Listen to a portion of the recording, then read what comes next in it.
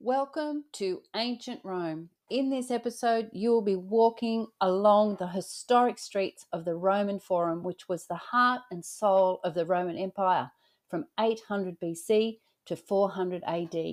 You will hear about all the temples, basilicas, and emperors of Rome in that time.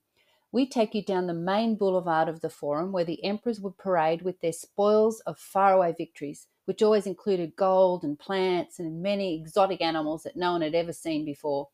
We tell you all about the most famous leader of all, Caesar, his life, and how he died.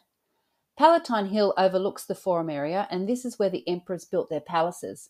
So, listen as we take you up the seven levels of the imperial ramp with its 35 metre high ceilings to the top of Palatine Hill. We share the views from the top and also the remains of the palaces and their private grounds, including a swimming pool and private arena area. Walk with us as we leave the Forum past Titus's Arch and enter one of the most well known historic buildings in the world, the Colosseum. We were able to visit the arena floor, which is where all the action happened, and get a great insight into the tunnels, the cells, and trapdoors. Spoiler alert, there were 88 of them Listen as we transport you to those ancient times when the Colosseum was a capacity with 50,000 screaming spectators enjoying the entertainment of the day. You'll want to stay listening to the end to find out exactly what that entertainment was. Actually, you might not call it entertainment. And also what the crowds had barbecued for lunch. And no, it wasn't another shrimp on the barbie. Don't forget, if you want to see all the pictures and find the link to the tour we did in this episode, then go to the podcast player you're listening on now and click the link in the podcast description to episode 66. If you know anyone planning a trip to Italy, then please share our Italian podcast series with them at www.beachtravelwine.com forward slash Italy. Please enjoy episode 66, all about ancient Rome. Cheers!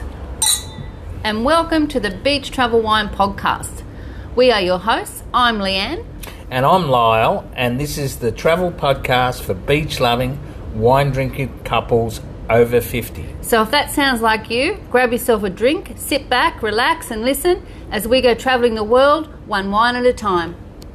Cheers. Good morning, Lyle. How are you today? We're back in the podcast studio. Buongiorno, Leonita. Uh, as I said in the previous uh, part, when I int- introduction is the word I'm looking for uh, we're talking all about the history of Rome today, and that includes obviously the Forum and the Palatine Hill and the Colosseum, which is basically right in the heart of Rome. But um, how do we get there? Like, it, when you're staying in Rome, what's the best place? What's the best way to get to the Forum, which is where we're going to start our tour today? Well, you can either walk. Mm-hmm. Uh, it's not far from anywhere really, or there are buses, and there is the metro, and there's a station, metro station basically right at the Colosseum. Oh, I didn't see that. Well, because we were able to walk because well, it isn't that big a city, really, is it? No, um, not at all. We, yeah, so it was about a twenty-minute walk walk for us, and we met um, our guide. Yeah, Diego. Diego, he was great, wasn't he? Yeah, he was fabulous. Yep. Yeah, I'm not as big into history as you've probably all learnt by now, as as Lyle is, and um, this guy was even dressed. Um, you know, differently. He had a bright sort of Hawaiian shirt on and a cute little hat, and he had um, oh some sort of chain and flag hanging on his on his um, you know thing that we were following around. Yeah, he was he was really enthusiastic and and great.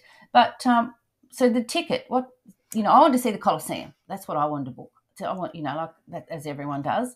But it also included, um, yeah, the yeah. So it includes the Roman Forum, the Colosseum, and the Palatine Hill. Mm. Now the tickets, uh, so it's a combination ticket. The tickets for adults are 16 euro, 18 to 25 2 euro, and under 18 they're free.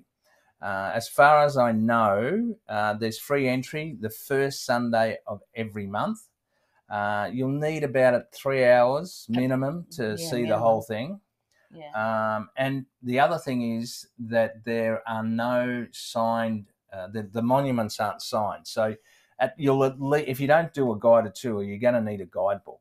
Um, we actually booked an online uh, skip the line all inclusive guided tour that included the Colosseum arena floor access, yeah. and it was about a hundred Australian dollars each. Now the reason I booked this one was because it, you know, like all the reviews and things, if you just do the normal uh, Colosseum tour, you don't get to go out on that um, arena floor. And they made that sound pretty impressive as it was. I'm, so I'm glad we did that. Yeah. Yeah. So, um, and just, you know, like I didn't know what the um, Roman Forum was. I know that sounds ignorant, but I, you know, I could see lots of ruins and things, but I, I really had had no idea, and I was just sort of following the guide so I could get to the Colosseum. But there was a lot to learn, wasn't it? Oh yeah, like it's it's huge. It's um, and the first thing you notice is the forum is well below the current modern street level.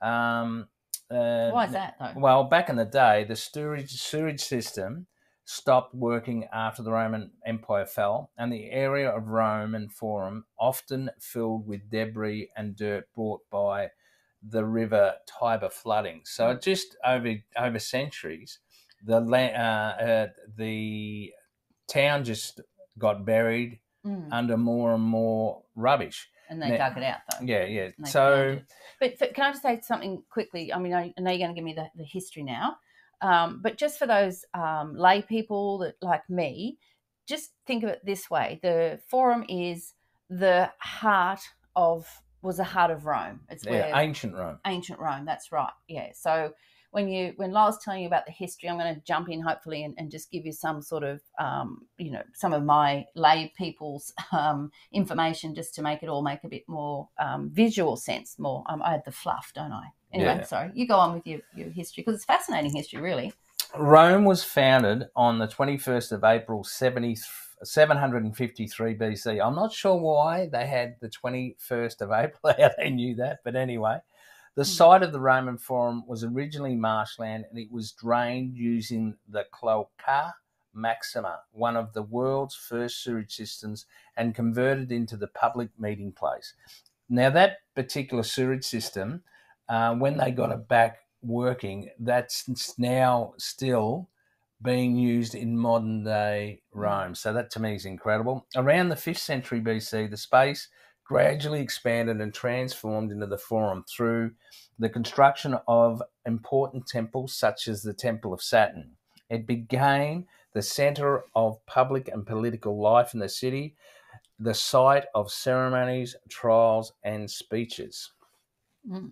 So it was like the place where people would gather. You know, like you didn't have your newspaper of the day, but everyone would go down to to hear what the news was, and um, so people from around the outside of the, the city centre would would go in there. Yeah. Yeah, it's sort of like you know how I suppose in Western civilization now, you know, you have that city square, Yeah. and so that you know the senators, if they wanted to tell the the population, you know, new laws or what was going on, or anybody could actually get up, Mm. and so yeah, it was On Prob- this, is that maybe that's where the soapbox came from? Maybe yeah, that's where this- probably. um, and yeah, in, in, in those days they didn't have newspapers, so that's what it was all about. Mm. Um, now, the Roman fo- uh, Forum was rediscovered in 1803 by the archaeologist Carlo Fea, who started to clean the area and excavate work has been continual ever since. What was he?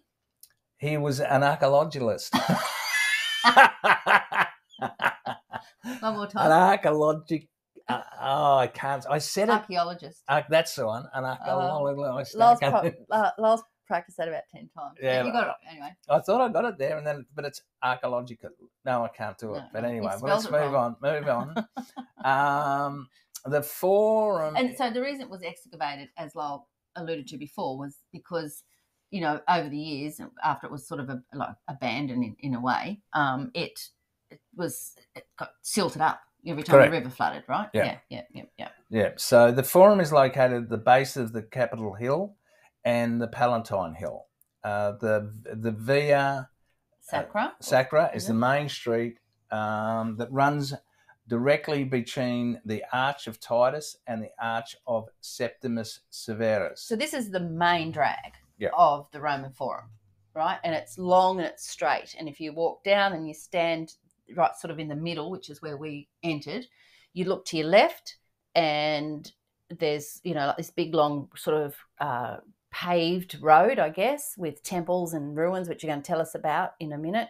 And, a, and an arch that you're going to tell us about at one end, and then you look to the right, and even more so, like more columns and, and you know, uh, temples and things, and another arch at the other end. So there's this big, long main street. You actually Yeah, which is Via Sacra. So Yep. you actually get the feeling it was important. There's just something about, you know, like about being standing there in, in that street. I can't. Well, I think that remember I, I, the thing that really impressed me about Diego. He he would say, "Imagine this." Yeah, well, he said something. Can I say that now about like when the Empress came back? Because you're probably going to say that, but I that's one of the things I do remember. He'd say, "Just stand here and, and imagine that you know the Emperor has returned from one of his victories, and he's you know."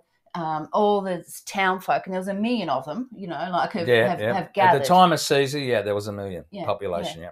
um, and the, the town of they've all gathered and, and the emperor in all his you know uniforms and his soldiers behind him and he's often got his you know his wife with him and and then behind him he's got all the spoils so so they've got the big um the gladiator cart things well not the carts the what the wagons right so they've, they've got You're the talking about the wagons, chariots. the chariots there we go you reckon I had problems with archaeology? You uh, still yes, can't I say. did.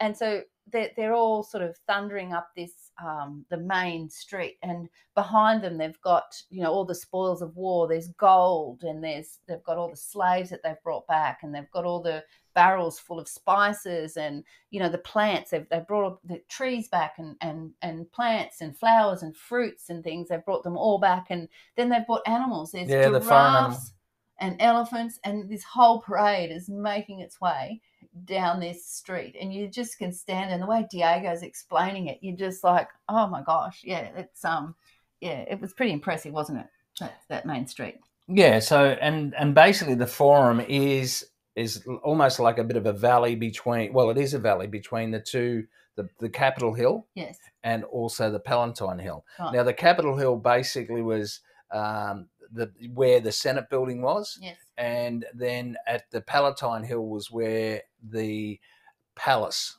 uh, was. yeah And, and be, between both, between there, you've got the uh, the Arch of Titus, yes that's and at one that's, end of the that's at the Palatine end, and that was to commemorate both the military triumph of Titus and his father Vespasian, with their victory and in the Jewish Mhm. wars.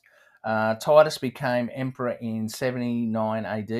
He completed construction of the Flavian Amphi- Amphitheatre, better known as the Colosseum, and opened it with ceremonies lasting 100 days. yeah and we've got a whole lot more on the on the um the Colosseum coming up yes Yep. as you were saying at one end there's the Arch of Titus Yep. yeah and, And- at the other end Yeah, there's the Arch of Septimius Severus.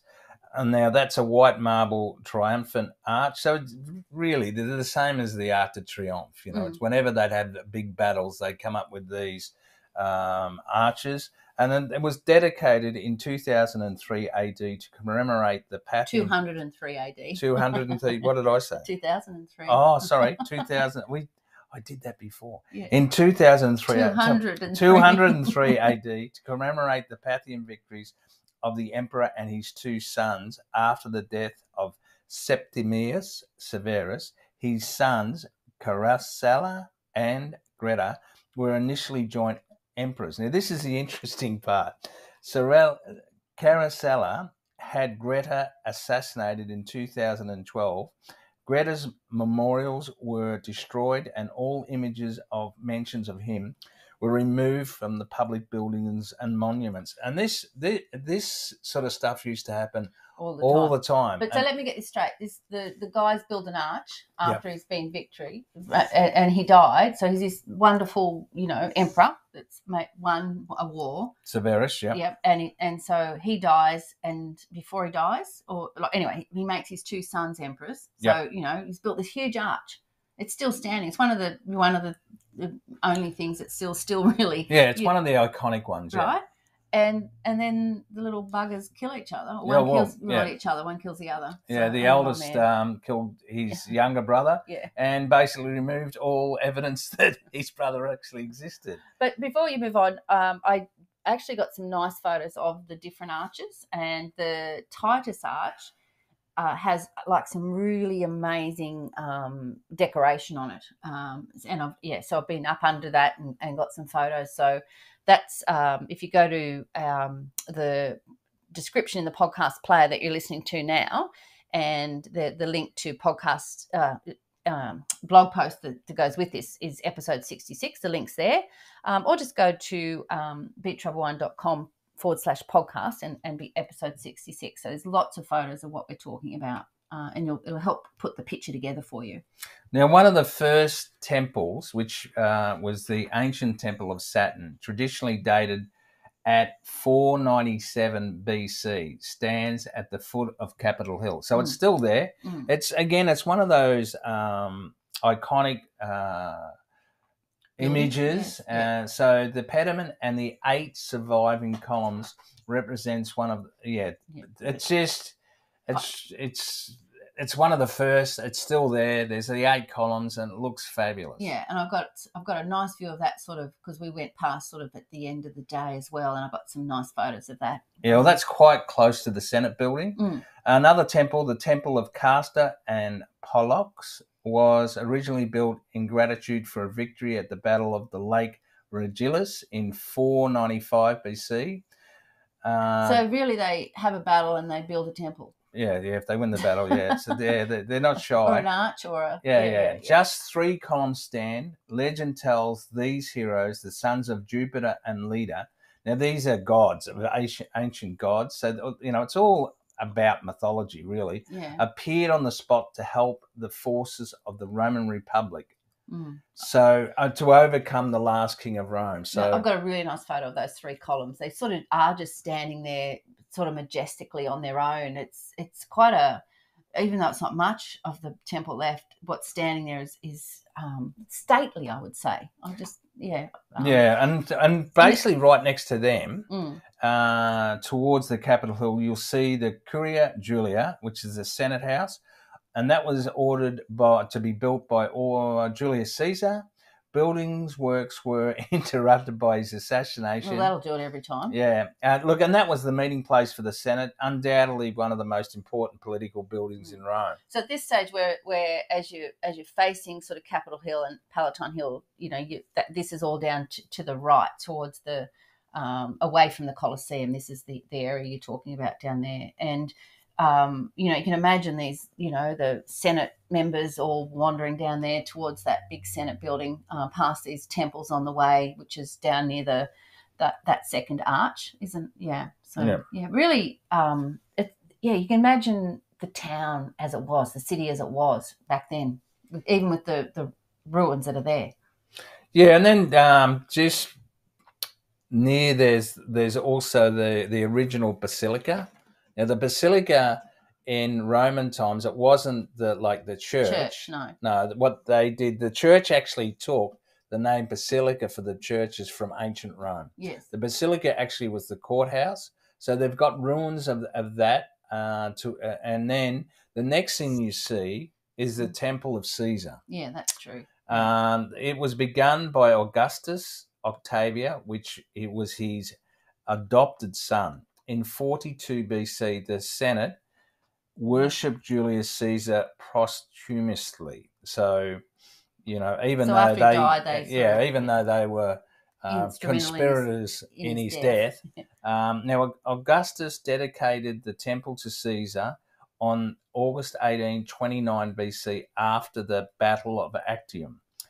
It stands on the east side of the main square on the site of Julius Caesar's cremation. Only the remnants of a cement core and podium of the temple of Caesar remains. The temple of Caesar was largely dismantled in the 15th century. Yeah, that is a little bit disappointing. You know, you sort of imagine that the um, the um, temple of Caesar will be, you know, something impressive, but yeah, it, there's not much. Someone's obviously pulled it apart, but people still go there and lay flowers. Yeah, yeah, that's true. Yeah. yeah so, yeah. Um, so you've sort of now we're at the stage where we can either keep on going along and, and describing the forum, or we thought it. Well, I thought it was best that we now talk about the life of Caesar. Okay, give it to us. The life of Julius Caesar. Well, you've got to. He's one of the most famous sort of Roman emperors, right? Well, he's probably one of the mo- most famous men ever in okay. history, and I, and I mean, and you can't really um, describe the forum without talking about the life of uh, Julius Caesar.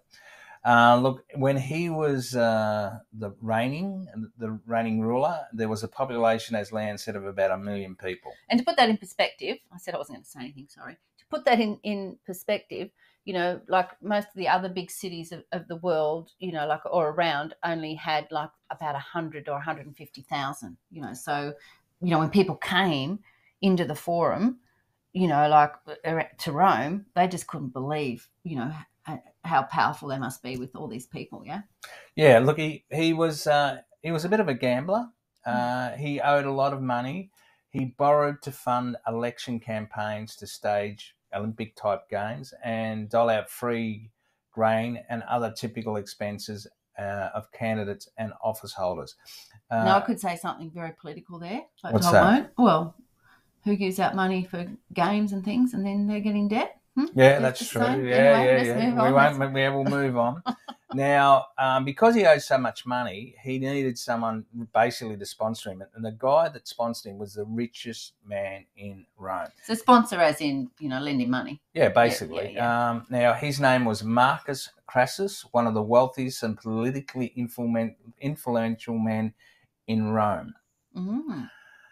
Um, now, they say that Julius Caesar had to continue to conquer so that he could pay his Right. So he had to go off and get gold and Peter slaves and Yeah, well, know, yeah, and one of them- plants and all that sort of stuff. Yeah. Yeah, so one of the main, you know, uh, I Mm. suppose, um, income was the buying and selling of slaves. Now, uh, Julius Caesar began his rise to power in 60 BC by forcing an alliance with another general Pompey and the wealthy Crassus. So if you're anything like me, you're like, oh, Pompeii, wasn't that a place? Oh yeah, but it's, it was a person first. Yeah, uh, we were here. Well, but at that stage, both um, Julius Caesar and Pay- Pompey were generals. Mm, mm. Now, I see- just didn't know Pompey was a person. Okay, just saying. Now I, I think I think actually his real name is Pompey, Pompeius, Okay. Pompeius, but they short it down to, or they westernized it by Pompey. Together, the three men assumed control of the Roman Republic, and Caesar was thrust into the position of consul. Now, before there was the Republic, the um, sorry, when it was a republic before it became an empire, the there was two consuls of Rome. Um, so Caesar. well, Yeah. yeah, Caesar and someone else. Now, they actually controlled Rome. Right. Now, there was always two consuls, Right.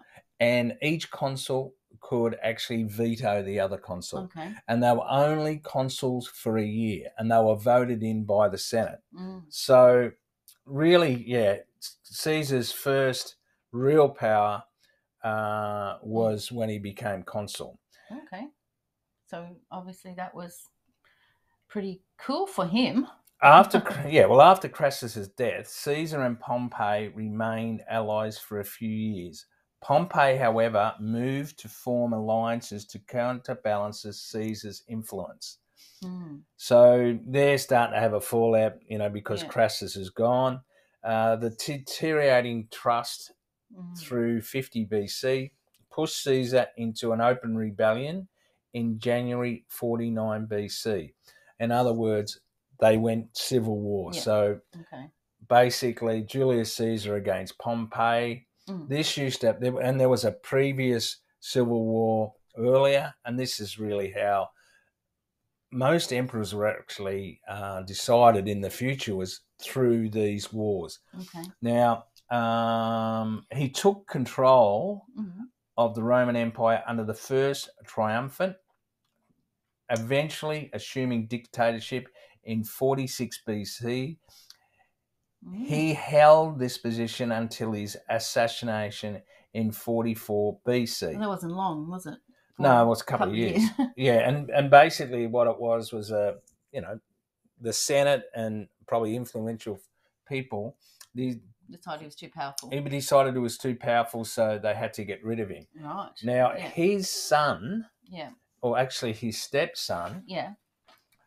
Uh, yeah, it was, uh, and this is where the other thing you've got to understand about the Roman Empire. If Julius Caesar, he had a daughter, but he didn't have any sons. So to keep power and with their dynasty, they would op- adopt children. Mhm. And um, Caesar's heir, Octavian, uh, and Lieutenant Mark Antony defeated Caesar. Caesar's assassins Yeah. in 42 BC, Yeah. So. but they finally split.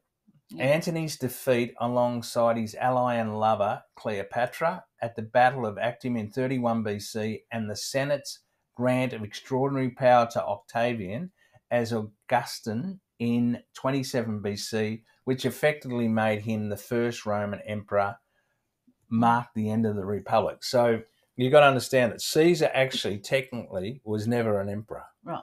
No. Okay, he was a dictator, but his son, through the power of the Senate, became the first emperor. Right. Okay.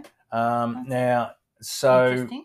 uh, now how were the emperors? You know, so all of a sudden the republic's finished. hmm We're going into the imperial Rome. Now, how were these emperors chosen? That was I. That was my next question. Okay, so there was really four ways. There was the hereditary rule, Yes. which Of is. Octavian. Yep. or fighting amongst private army, armies. Oh. So soldiers. Yeah, soldiers, basically. And, and actually, the soldiers, if, if there was a big victory, the soldiers actually would vote that Their the, general their general was the new emperor. So there was at Mm. times more than one emperor of Rome. Oh, okay. And then there was, or you were invested with imperial title by the Senate, or both of those. Mhm. Now, when the, th- thing that really confused me about this is Mm. when you, you go through and you're reading through all the emperors and all this sort of stuff, Mm. they they all had the name Caesar. Mm. Well, most of them had the name Caesar, and they also had the name Augustus. Right. And, I, and it just confused me. So I went in and I had a look at it. Mm. When an emperor or Augustus, so Augustus actually is a title of emperor, Right. so, but they're basically the same thing. Named an heir to the throne, that heir would be known as Caesar. hmm Okay, until his accession, when he would take the title of Augustus. So that's how that worked. Uh, now, what had, what actually caused the Rome to fall? Well, that once again was my next question. Oh, I'm sorry. No, no, but yeah, good. Um, you go. I was wondering that Okay, so basically, it was corrupt. because it was pretty. You know, like they had a million people and they had all this wealth and and you know, but once again, the leaders can't help themselves. There's always corruption, Yeah, yeah, yeah. And so, yeah, there was corruption locally. and then everyone wanted power, so you know they're di- dividing the the empire up. I guess. Well, and also the fact that the empire was so big. Yes. So, so you had what would happen is that the the the, the Sen or the emperors would send governors out to, you know, for instance, Spain Mm. or France, or what was called Gaul in those days, you know, and the governors were responsible for collecting taxes. Oh, and who's going to know if they get them?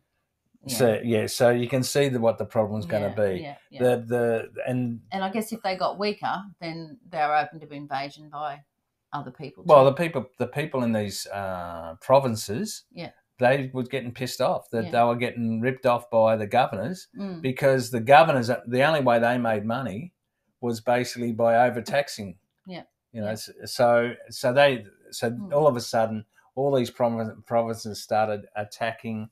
Mm. Um, each other, and then yeah, and then all of a sudden there was also the invasion by the Germanic Germanic tribes. Mm.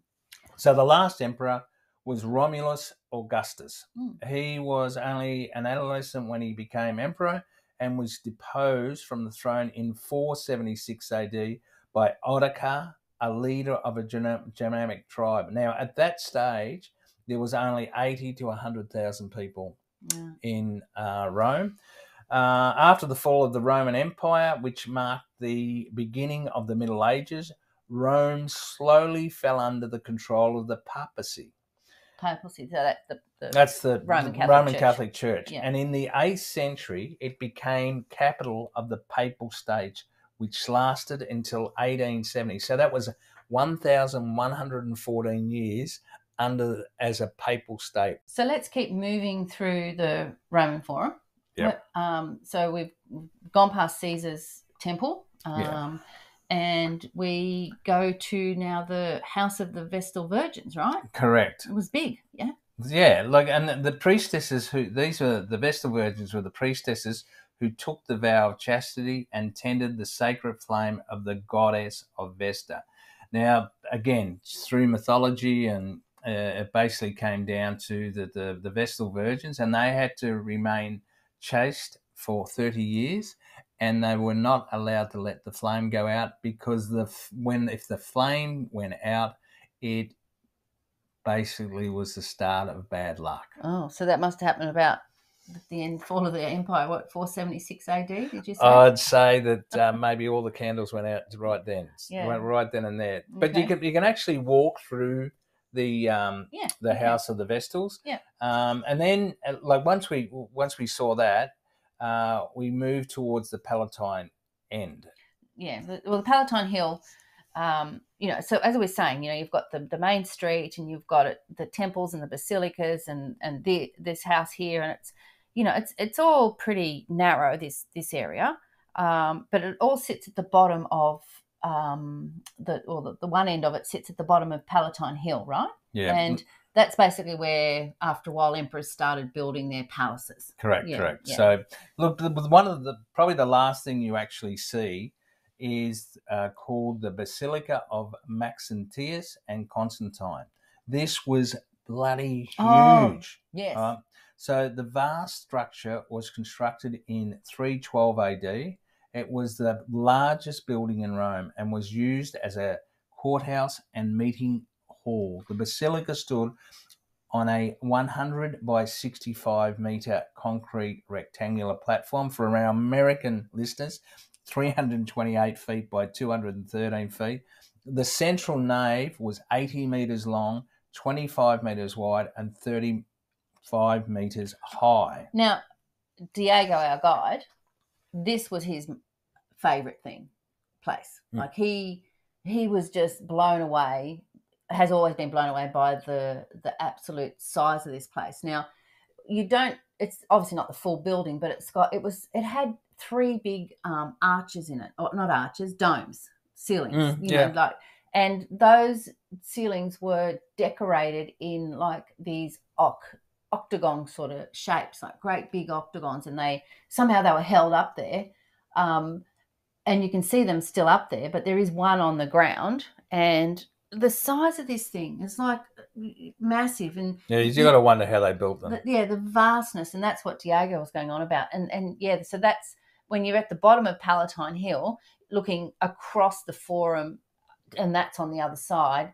It is just amazing, and we actually got to walk through that before we headed off out of the out out of this area. Um, and yeah, you you think it's big when you're standing back looking at it, but when you're there underneath this 80 meter high, you know, ceiling, it's pretty amazing, isn't it? Yeah, so that was a courthouse, Yeah, and and, yeah. and and what led me then to think, well, you know, what was Roman law about? And there was four main pillars of Roman law, and the pillars were equal treatment under the law, innocent until proven guilty, the burden of proof proof is on the accuser, unfair laws can be disregarded. Mm. So pretty much like basically common law today. So.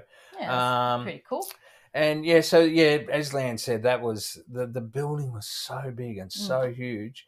Um, and again, you know that symbolism of power. I think just the size of the buildings. And look, as much as you know, um, I feel like apologising to go because we've done the history of the buildings, but I think you can't just describe the building without talking about the yeah. understanding it. So Yeah. now the next thing we did Hmm. and this was only discovered in 1900 was the imperial ramp Yes, and now once again, Diego said most of the tour guides don't take you on the Imperial ramp, and I don't know why. but It's a little bit out of the way, but I've got some really great photos of, of this ramp, and it's oh well. You describe it. yeah Like, it's- okay it's- the, the the seven level ramp was Yeah. built by emperor domitian in the first century ad to serve as a majestic entry from the forum to the imperial palace it's actually the the, the, the walls are 35 meters high Yeah. it is huge and And- there's they're 150 in other words 115 feet once at the top of the of, of the ramps, Mm. tell me about the views. Well, if, yes, I will, but I'm just trying to, you know, like make sure people understand. It's not just like a, a ramp to walk up. It's and and it's covered. It's a big archway. You know, like it's a big covered seven tier. Was it? Did you say like you go up Seven levels, yeah. seven levels? So you go. It was for their horses to yeah, go. exactly. That's it. So you know you, you're on your chariot or your what? That's the right word. That's the word, yeah, Yeah, yeah. yeah, Chariot, not the cart. No. yeah and and and it takes you all the way up these seven levels as you sort of um, wind your way around and the the um the huge big ceiling that that covers it and there's some little windows you know along the way as well. And you know so they would have gone up there centuries ago.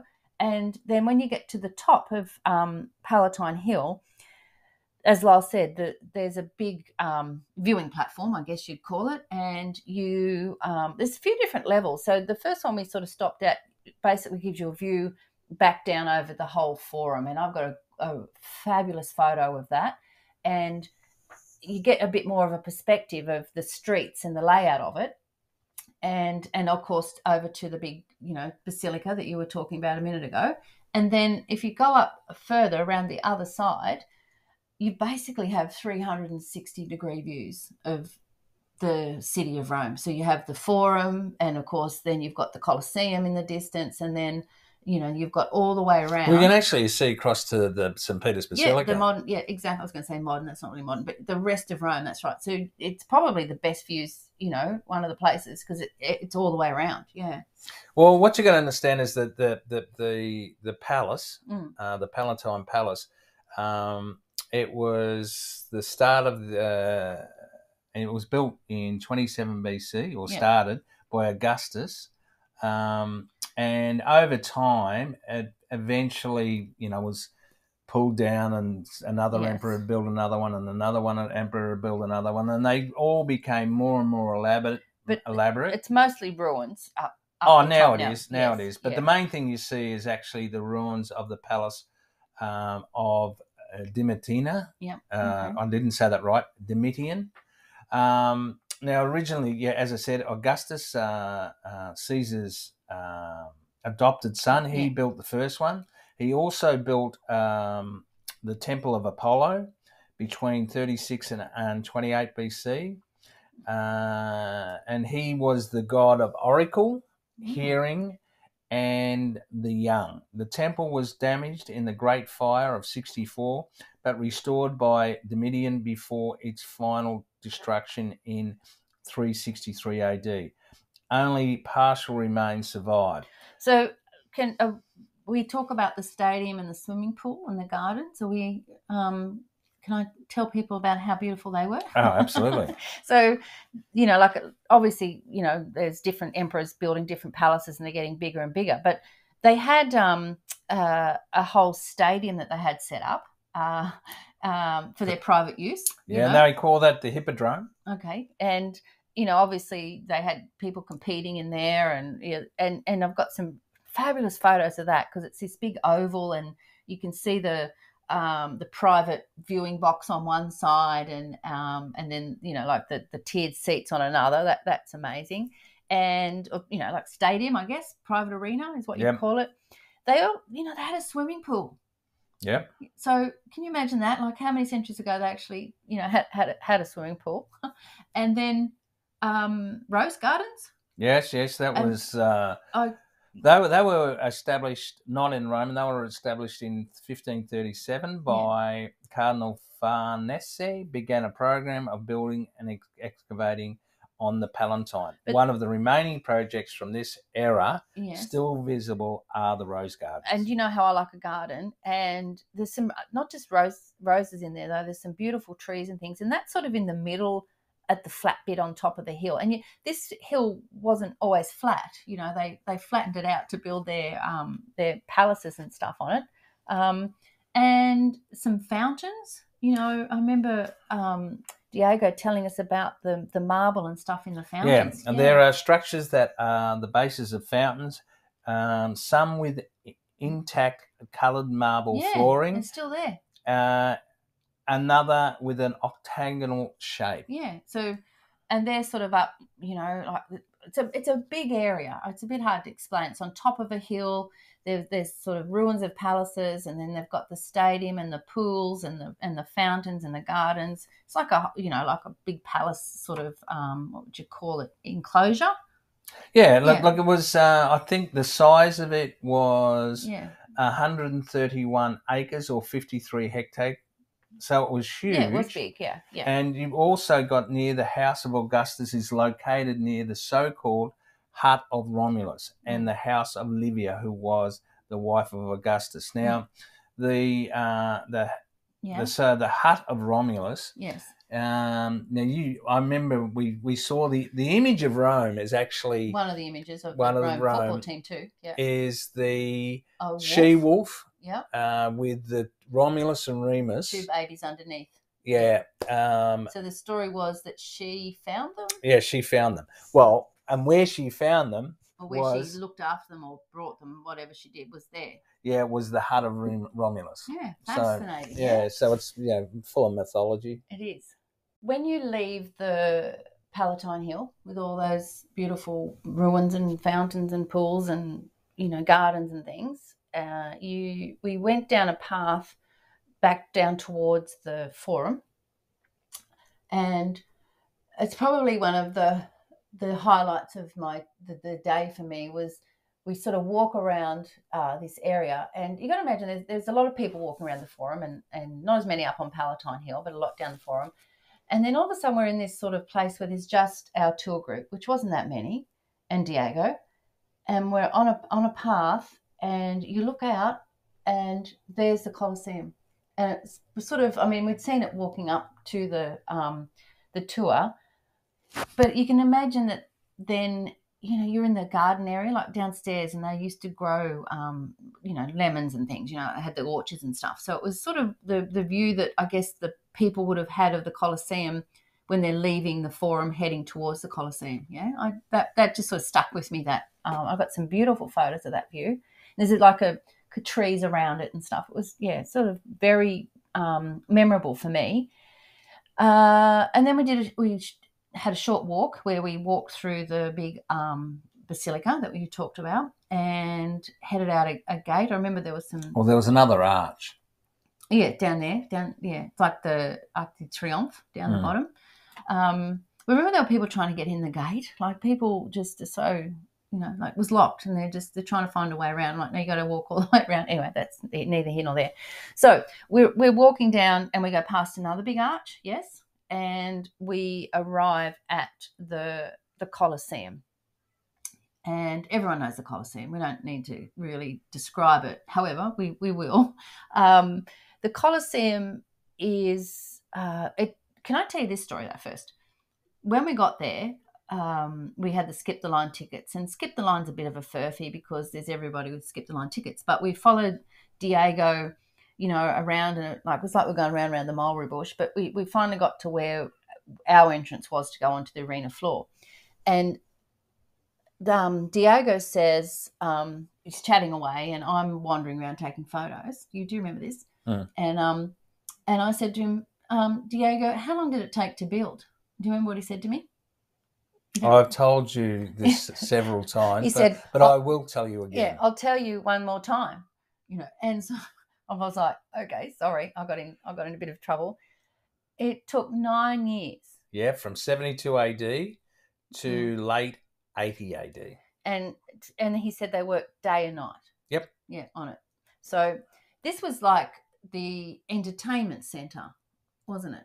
Yeah, like yeah. The, well, they had the gladiator shows, Yes. Well, um, talk about and those. um, yeah, they took place at the Colosseum, and the and the spectators basically saw the fights as entertainment. Right. So the the Colosseum ha, has 80 arches around on three levels. So that's over 240 arches. And when you think of the Colosseum, that's what you, what you see.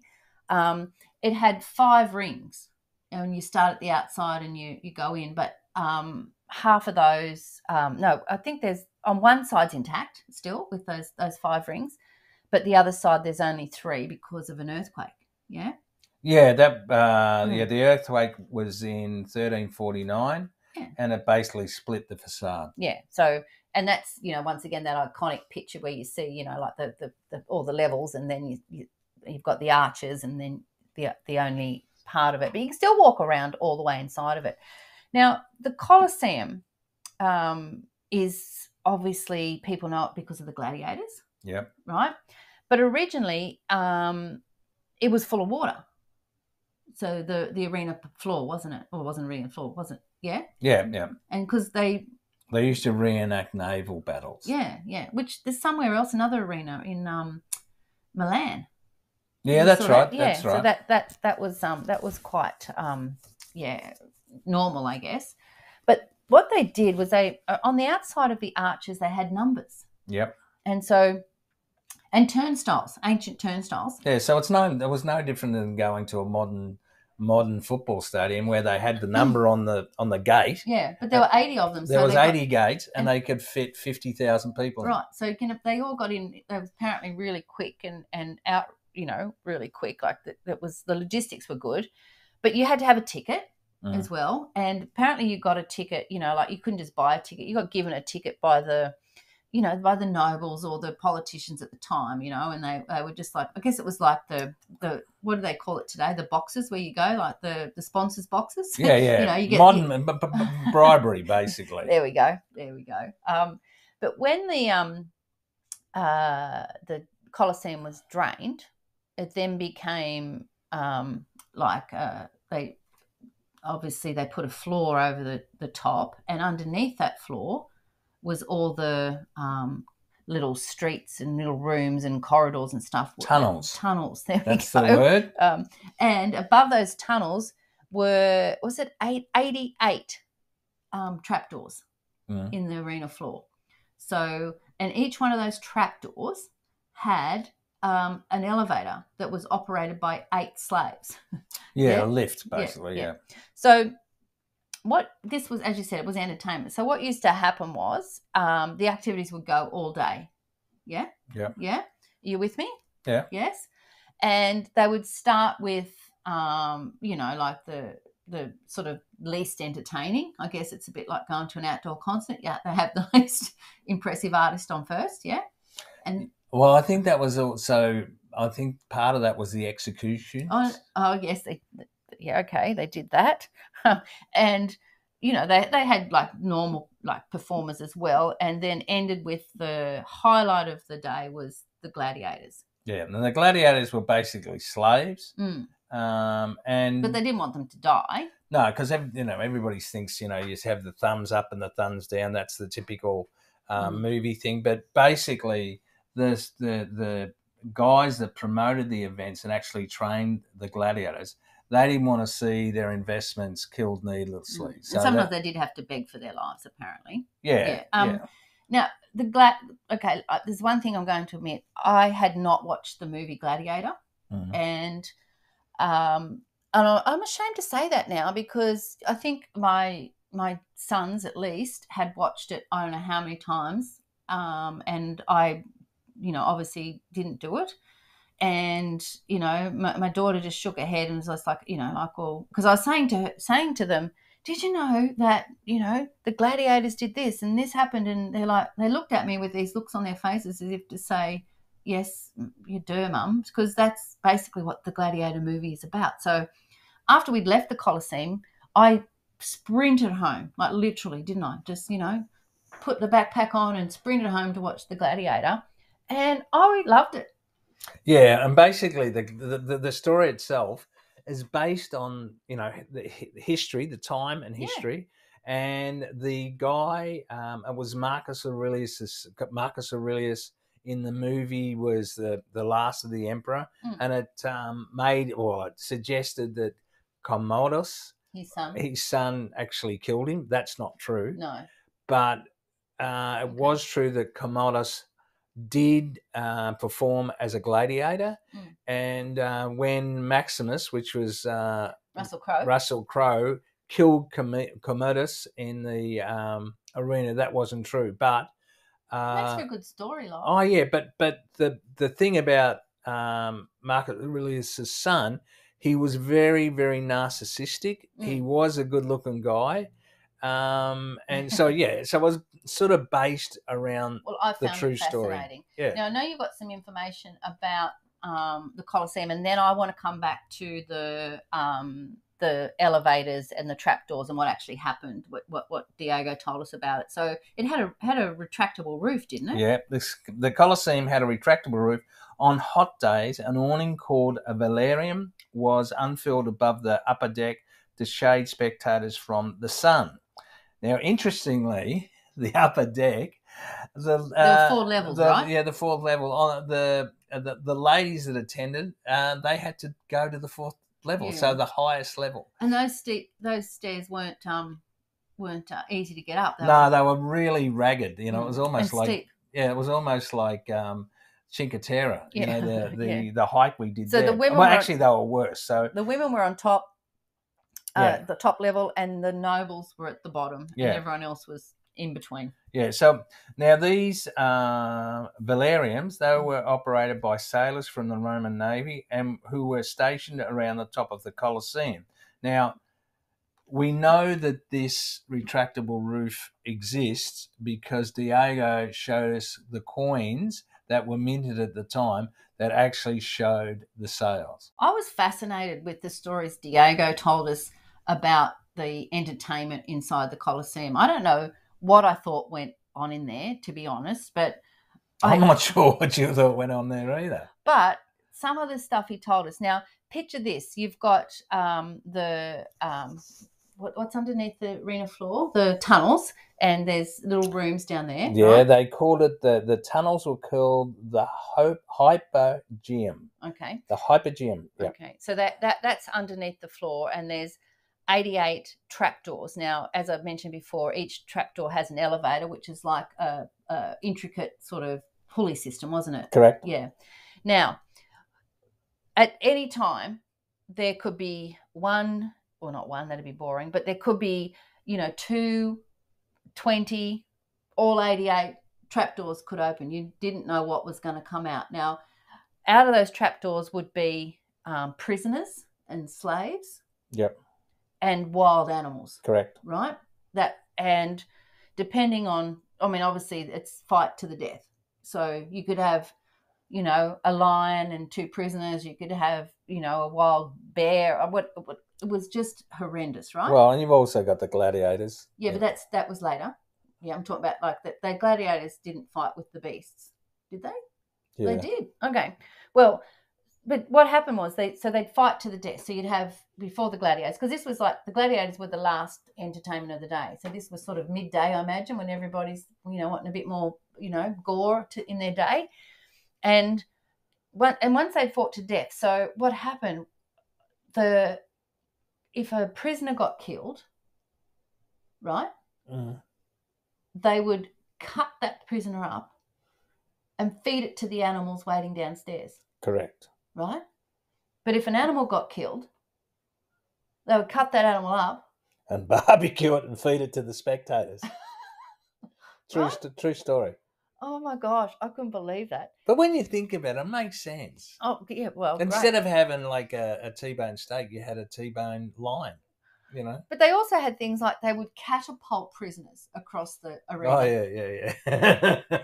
or they, I, I don't, they nail them to a cross, sometimes upside down. Like it was dreadful, you know. And as you said, public executions, you know, like, and people are cheering on, and and then, of course, after that, um, the highlight of the day was the gladiator fights, as you said, and they're highly trained, you know. Uh, but most of those were slaves. So, and you could, I think, if you won a certain amount of Yeah, you could get out. Um, gladiator fights, Yes. uh, you could gain your freedom. But the most famous, famous, famous gladiator was a, a Greek guy, guy called Spartacus, Oh, and he actually led a slave rebellion.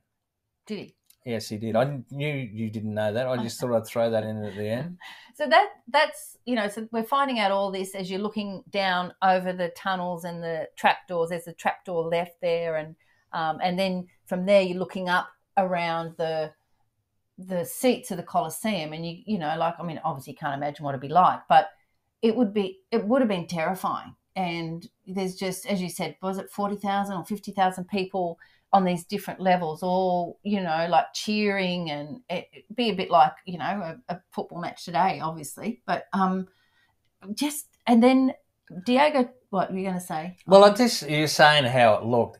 Like the two most prominent movies I can think of um, of the gladiator fights was there was one called Ben Hur, No, and that was back in I think in the fifties, and right? that was uh, um, it was about a, a famous chariot race, okay, yeah, and uh, and it was about. There was another one called Spartacus, yes, and also and- Gladiator. and also Gladiator. And you know, to, to, to be honest, after watching those movies, it's so easy To imagine standing in the actual Colosseum yeah, and imagining what would happen. but I think the, the also inside on the tour, you know, because you get um, Diego. There's a obviously like a display where they have um, models of what it was like, you know, fully built, and and, they show the intricate um, workings of the, The pulley elevators. system, Yeah, the yep. pulley system. So there's a lot of um, that sort of uh, tourist information stuff, which is absolutely brilliant. Yeah. Yeah, I think and and I certainly would recommend doing the tour with the arena floor because that's where you get the whole experience of of, of the Colosseum. I think. Yeah, well, you look up into the stands and Mm. you can just imagine it, Yeah, uh, how it would have been. and if you can also see the difference from the outside. There was a um, a wealthy guy paid, and I don't know how long it took to to get the outside of it cleaned, and and obviously money ran out or time ran out because you know that was on the outside ring.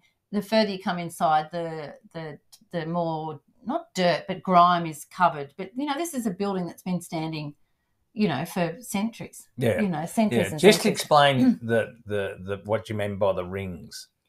um, so there's five rings. Yeah, so Yes. it's basically they're corridors. Yeah, so yeah, five. So that's right. So the outside and and the earthquake that happened um, knocked half of the two of the rings out. So it's, on one side, there's only three rings. Yeah, Yeah. I think uh, as I understand it, and I, I don't know how true this is, but because of the intricacy of the rings Yes. yeah, as the corridors and the 80 arches to get in, they something like those 50,000 spectators could be exited within like 30 minutes. And back in the day too, this is something else that um, Diego said. Above the arches, there's like where they used to put rods, and I didn't know what he was talking about, but he's talking about flags. So the Oh. whole thing, you know, it had um, you know, had the turnstiles, it had the gates, it had the fifty thousand people with their tickets, and you know, the, there's all this entertainment going on, and the roof's on, and there's it's like a carnival atmosphere, and you know, every um, arch has got a flag, you know, Yeah, there's lots of pageantry and, and Yeah. the same, you know, similar to when they'd come back after victories and they'd come through the arches. Yeah. There was all this pageantry, and it was all based, I think, symbolically to represent the emperors as being all powerful. And I, and I think the fact that you know the emperor that that Titus that built the the Colosseum was all a big propaganda. Well, it took nine years, didn't it? But, well, and- nine and- years isn't long. No, and a hundred days they partied when it opened. Yeah, that's right. Yeah, so yeah, a yeah. hundred days. So he liked to party as well. So have had a and it was always obviously to keep the citizens of Rome happy Yeah, and happy with him as the emperor. So Yeah, yeah, yeah. I, I I find it intriguing. I love the whole thing, and I probably should apologise for my my um, Oh well. obsession with it all. But I and and, and I got really quite. Um, yes. interested in this because I listened to a couple of podcasts, Yeah. which a guy by the name of uh, Dan Carlin, Yep. Hardcore History, Mm. and he's done lots of uh, podcasts on the history of Rome, and also another guy, Daniele Bolelli, and he has his podcast is called History and Fire, and he's done a couple of um, podcasts on Rome and Caravaggio. Yes. Well, and you do love your history, but you know that's okay. I um I was able to put my stories to it, and um and I I enjoyed the experience as well. So. I hope you've enjoyed our um, podcast history lesson, and you know we've wandered the streets with us and, and learnt something about the history of Rome because I Of ancient Rome. of ancient Rome, and because I, I certainly certainly did. And another quick sort of hint for you, I would recommend going back at the end of the day as the sun's setting, oh, yeah, we did and that. and you you just get a completely di- a different perspective. And I've got some photos of when we did that. So, um, so if you want to, you know, like there's lots of photos as you can imagine, just I don't know, so many of, of the um, the, Palatine Hill and the Forum and the Colosseum. Uh, go to um, uh, the podcast player on now, and the description there will have a link to podcast episode 66, um, the show notes, and that's where all the pictures are. And there's also a, um, a, interactive map you can have a look at to see where all what we're talking about, or just go to beachtravelwine.com and you know you can find all our stuff there and of course we're on instagram as well and if you know someone planning a trip to italy please share our podcast with them because they need to know to get this tour because I'll have a link to that in the show notes as well. Should we ask for reviews? Yeah, you can ask for reviews. Off you go. Yeah, well, they say that um, the the, uh, the, more reviews you get, the more what's the word? Um, I don't know. Um, authority you show in the podcast yeah, apps. Yeah, yeah. yeah, I think what Lyle's saying is we would love it if you would go to the podcast app you're listening on now and leave us uh, a, re- a five star review. Would be wonderful. Yes. Yes, nothing less. Why would they? Oh, exactly. All right. We didn't have a wine at the Colosseum, did we? No, no, we didn't. Mm. Um, no. But there are lots of lots of restaurants overlooking the Colosseum that we that you could certainly go and enjoy a wine. Well, we did have a wine at the second biggest Colosseum in the world. Did we? Yeah, that was at Verona. Oh, and we went and saw. You're waffling now. Albano. Albano. There are lots of restaurants um, that so like around the Colosseum where you can certainly look and especially at night, go and have dinner and look at the Colosseum. Anyway, thank you for joining us on episode 66 and we'll see you next time. So it's goodbye from me. Arrivederci from me.